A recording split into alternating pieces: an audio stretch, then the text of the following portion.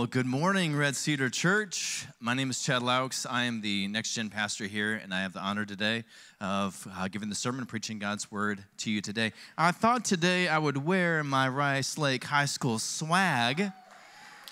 Because if you are unaware, the Rice Lake High School football team are state champions. Absolutely amazing. Absolutely amazing. Fourth quarter, fourth down, uh, fake the punt, run for a first down to clinch the win. It was absolutely epic game. Way to win a state championship. Congratulations, Rice Lake Warriors. We're super excited and proud of you guys. Your hard work and your dedication have paid off.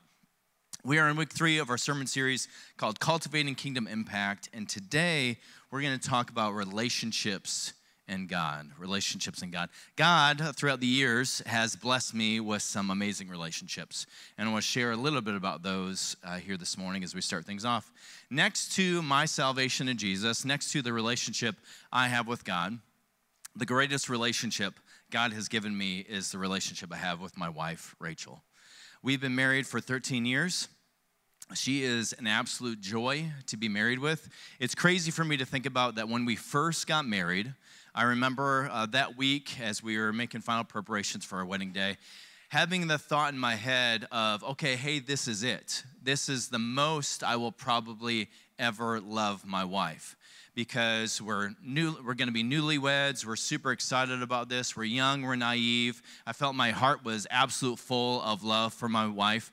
But the crazy thing for me is when i think about it is over the last 13 years we have not lost weight right? We've gone the other the other direction, right? The elasticity in our skin hasn't increased. We have more wrinkles as time has gone on, right? Uh, the color of our hair has not uh, gotten darker, it's gotten lighter. Yet my love for my wife has only grown deeper and richer as those 13 years have gone on. When I think of my wife, Rachel, uh, when I think of her, she is light in a dark place, she is warmth in a cold place.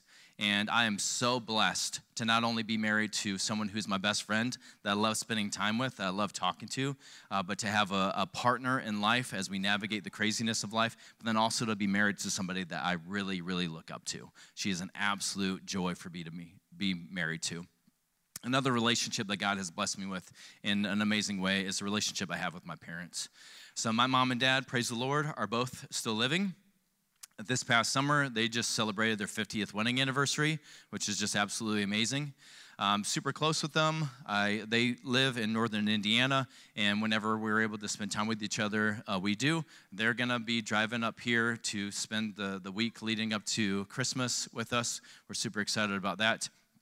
And what's interesting to me is as the years have gone on, my relationship with my dad has always been good, uh, but we've become more and more friends as the as the years have gone on. If he tells me to do something, I'll still say yes, sir, um, right away, sir. Uh, but we're we're still friends. We're growing closer in our friendship as the years have gone on. My dad is 70, all right, and uh, just last night, and a lot of nights after the kids go to bed, and, and Rachel and I, you know, talk shop and we get everything squared away for the night, we'll get on Xbox and play together, right, online. And he's 70. I think that's super cool. Um, it's a lot of fun to be able to be able to play video games with my dad.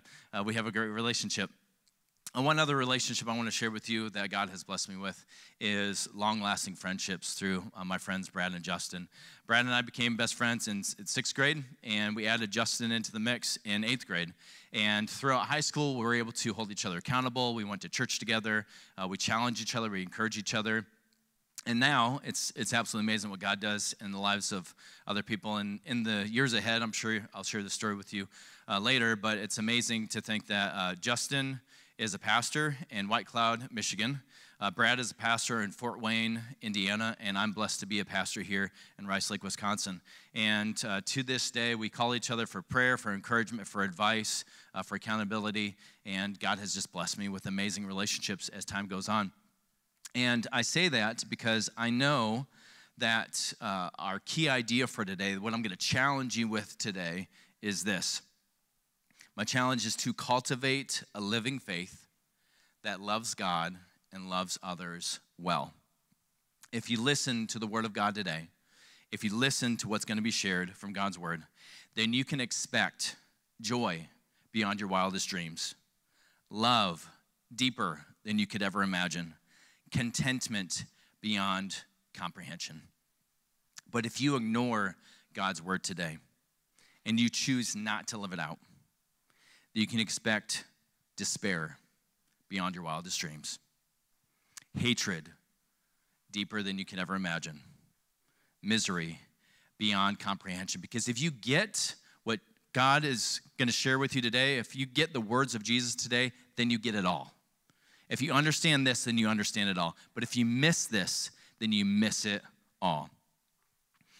Our scripture for today comes from Mark chapter 12, verse 28 through 34, and it says this One of the teachers of the law came and heard them debating. Noticing that Jesus had given them a good answer, he asked him, Of all the commandments, which is most important? So essentially, he's asking to like summarize the whole Bible, right? So you're gonna wanna pay attention to this, right? The most important one, answered Jesus, is this Hear, O Israel, the Lord our God, the Lord is one.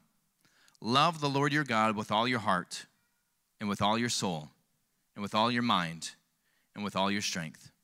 And the second is this love your neighbor as yourself. There is no commandment greater than these. Well said, teacher, the man replied. You are right in saying that God is one and there is no other but him. To love him with all your heart, with all your understanding, and with all your strength, and to love your neighbor as yourself is more important than all burnt offerings and sacrifices. When Jesus saw that he had answered wisely, he said to him, you're not far from the kingdom of God. And from then on, no one dared ask him any more questions. This text shares with, shares with us three big cultivation tools that I wanted to talk to you about today that are needed to grow a living faith that actively loves God and loves others well. And the first cultivation tool is to keep God first. Is to keep God first. This text reads, The Lord our God, the Lord is one. And the first Christians were surrounded by Roman temples that worshiped and sacrificed to the Roman gods, such as Jupiter, Juno, Neptune, Mars, Venus, Apollo, just to name a few. And the, but the Roman people themselves considered themselves to be very religious.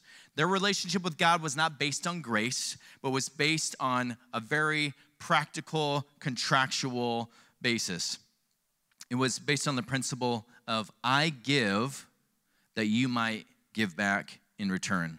And the Roman emperors themselves considered themselves to be deity. In contrast, the, the early Christians lived a completely countercultural life. In fact, the early Christians were accused of atheism because they only believed in one God. They didn't worship the Roman gods, and the idea of worshiping only one God was so foreign to them that the Romans had a hard time wrapping their head around it. In our time and now, I wonder though, what does it mean to live this out? What does it mean to say, the Lord our God, the Lord is one? Because most of us are not surrounded by Roman temples, right? We're not surrounded by temples that worship polytheism. But I wonder if we pause and reflected to see if we've given into a casual polytheism ourselves, if we've slipped into allowing other things in our life to be on the same par as God. If God is one, have we raised other things to be at that same level as God? I see uh, far too often, and it's a, definitely a struggle for a lot of men, where they find their identity in their occupation. Uh, where, where they're at uh, their, their identity, the foundation of who they are, is on the same level as God is their occupation. Some of us form our identity around that. Other, it might be a relationship. Some of us form our identity around possessions. Some of us form our identity around the occupation or a skill. And I know this because years ago, I had a somebody I was working with, and at a, um, a small company, who had been there for, worked at this job for decades and decades and decades, right? And he was always the first one at work, he was the last one to leave. On his days off, you would often find him there at the office. Rarely ever took a vacation. And when he got up in years and management saw that it was time to transition him out, uh, pretty much against his will, and as he retired, his identity was taken from him. And when you don't have an identity uh, on something that's solid and it's taken from you, his life very much crumbled to the extreme point that shortly after he left uh, his job there, he took his own life.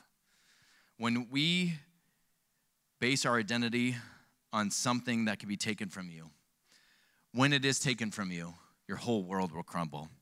We need God as our firm foundation because it is the only solid foundation. Never base your identity, never base your foundation on something that can be taken from you. First cultivation tool is we need to keep God first.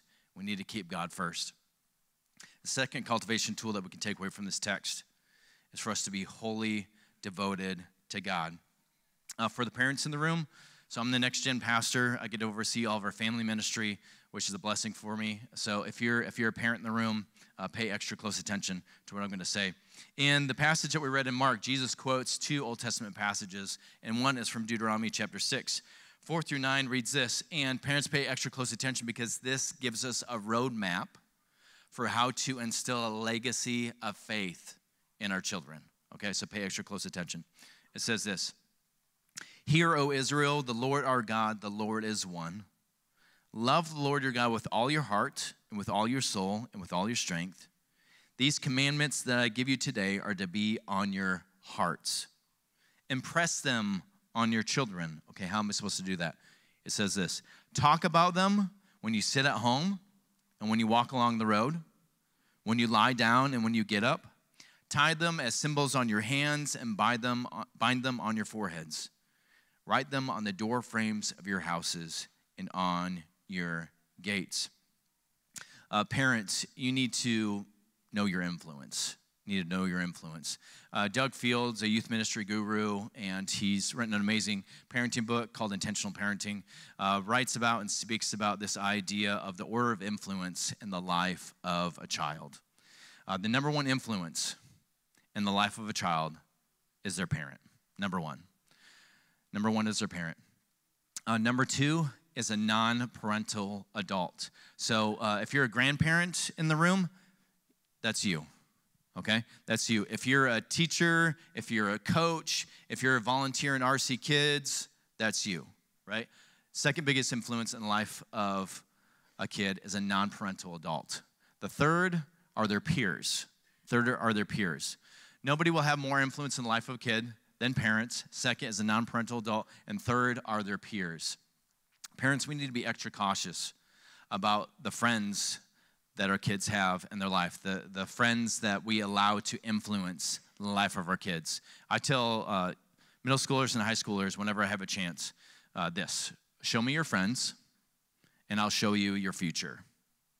If you hang around with a bunch of kids that take school really seriously, that are respectful to their teachers, and work really hard, then you are much more likely to take school very seriously, to be respectful to your teachers, and to work really hard. If you hang around with a bunch of kids that skip school and run into the bathroom in between periods to vape, you are much more likely to skip class and to vape, right? Show me your friends and I'll show you your future. Parents, we got to be really intentional about who we allow to influence our kids. And our third and the fourth influence in the life of a kid is culture. Parents, I want to leave that up for a little while. You need to know that you are the primary faith former in the family. The church can help. We can help you. But the raising of our children in the Christian faith cannot be outsourced. Parents must take the lead. Unfortunately, I see on a regular basis parents treating faith in a similar fashion as how they treat an extracurricular activity, right? So let's take football, for example, right? You take your kids to football practice, you drop them off, they practice for an hour, hour and a half. They develop this skill. They come home, and you very well may never play football with them. You may never well talk to them about football, but they still develop this skill. It doesn't work like that with our faith. You can't drop your kids off at the church for one hour or two hours a week and expect them to grow in faith in amazing ways in a similar way because it's different. Because when it comes to discipleship, life lessons are more caught than taught. We can teach them here on the weekends, but remember, who's the primary influence in the life of kids? Parents are. When they look at you, when your kids look at you, they're watching all the time. They look at you and they see, oh, that's how a husband is supposed to treat a wife. Oh, that's how a wife is supposed to talk to a husband. Oh, that's how much time I should spend scrolling on my phone. Oh, that's what my relationship to alcohol should look like. Oh, that's how I should act when I'm angry. It's a wake up call for me sometimes when I'm sitting at the dinner table and I see my son frustrated and I hear him talking to his sisters. I hear his tone, I hear his words. I look at him and I know exactly where he learned that from from his mother. No, that's from me. That's from me. 100% me. Sometimes I'm sitting there at the dinner table and I look at him and it's it's it's a rude awakening because it's like looking into a mirror of, yep, I know where he got that phrase. Yep, I know where he got that tone. It's from me. Life lessons are more caught than taught. Parents need to know your influence. If you want to create a legacy of faith in your home, then kids must see faith lived out by their parents. Grandparents don't check out here, right? If you're heavily involved in the life of kids, you can have influence in their life too. Parents, grandparents, you don't have to be perfect. You don't have to be perfect. Just be intentional and faithful as you live out the faith. And a big thing too is to own up to your mistakes, right? None of us are perfect, right? When we mess up, own up to it, right? It's, it's a great example for us of when you are too harsh with your spouse, when you're too, when you're too harsh with your kids, after you've been convicted by the Holy Spirit and you've calmed down, to then talk to them and say, hey, what I said was wrong. I should not have lashed out to you like that. Hey, that's not how a husband is supposed to talk to a wife. Uh, and I need you guys to know that.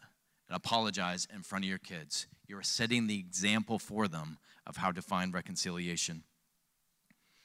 Also, having a positive, having regular, positive, faith based conversations is essential to creating a legacy of faith. So, uh, my challenge to you is to see routine as opportunities routine as opportunities around meal times, bedtimes. When you're driving in a vehicle, you got a captive audience, they're not going anywhere. Family fun days, holidays, family trips, all of those are regular opportunities for you to instill faith in your children, to have those regular faith based conversation. They're extremely important. Seeing the ordinary as opportunities for discipleship. So, kind of reviewing that section there, who is to instill faith in the lives of children? Number one, it's parents. Where are we to train and teach kids about the way of God in the home? And what are we supposed to teach them? These words of Jesus that we read earlier from Mark to love God and to love others well. The third cultivation tool that I want to talk about today is to love others well. And it's interesting, of all the commandments, right, of when Jesus looks at, at the whole Bible, why does he summarize these two things? Why does he say to love God with everything you have and then to love your neighbor as yourself? Why does he say to love God and to love others? Why do those two things go hand in hand? Listen to me closely with this, right? It's because this is the reason. Because you f- can't fully love your neighbor unless you love God. And if you're not loving your neighbor, then you're not loving God. Let me unpack that a little bit. When you enter into a relationship with God, you are being transformed by God. Our relationship with God, the grace of God, the transformative work that God does in our lives, is what allows us to fully love in the first place. Love is the first fruit of the Spirit. We have the ability to love only because of the work of God in our lives. So, in order for us to love our neighbor, we have to love God. And then, since we love God, God teaches us several things about His creation. He teaches us that every human being is made in the image of God. He teaches us that God wants us that God wants to be in a relationship with everyone. He teaches us that Christ died for everyone, that our fellow human being is a creation of God, and human life is of the greatest value. So the way you treat creation reflects the way you feel about the Creator. And you might say, well, you know, I, I, I love God, I, I, really do, but I'm just, you know, it's just my personality. I'm really harsh. I'm, I'm, I'm just kind of naturally harsh with other people. Well, brace yourself. Uh, 1 John chapter 4, 19 through 21 says this We love because he first loved us. Whoever claims to love God, yet hates a brother or sister, is a liar. For whoever does not love their brother and sister, whom they have seen, cannot love God, whom they have not seen. And he has given us this command anyone who loves God must also love their brother and sister. And there's so many great ways that we can show love to others. And even though we live in this fallen world, by the grace of God, who gives us the ability to love in the first place, God also gives us a mechanism, a way for us to stay in love with others, to have right relationship with other people. And even though we're being transformed by God, we still make mistakes. The way we stay in right relationship with other people is through reconciliation. Reconciliation. So I want to give you three keys, three keys to reconciliation this morning. First is to own up to your mistakes. Own up to your mistakes of being honest and saying, hey, I was wrong. What I said was out of line. Own up to your mistakes. The second is to apologize, to apologize sincerely. Apologize sincerely. Something I've learned over the years is that you can either apologize or you can defend yourself. You can't do both. Because once you start defending yourself, it's no longer an apology. I'm sorry I acted that way, but you know how I am before I have my morning coffee. I'm sorry I said that, but I had a really harsh day at work. I'm sorry I snapped at you, but you were just nagging me, right? Either you can apologize or defend yourself. If you're going to apologize sincerely, there's no buts. I was out of line. What I did was wrong. I'm sorry. And the third key to reconciliation is to be humble. Is to be humble. Uh, something I learned too is that usually when there's conflict, rarely, it does happen, uh, but rarely is it 100% somebody else, the other person's fault, right? Usually we have a part to play in it. It might just be 10% of it, uh, but to own up to your part, to recognize that you have contributed to this conflict is a part of being humble. And when you go and apologize, when you own up to your mistakes and apologize sincerely, they might not be ready to forgive you. They might see that as an opportunity to vent. They might need time to process what you have said. They might not be ready to forgive you instantly.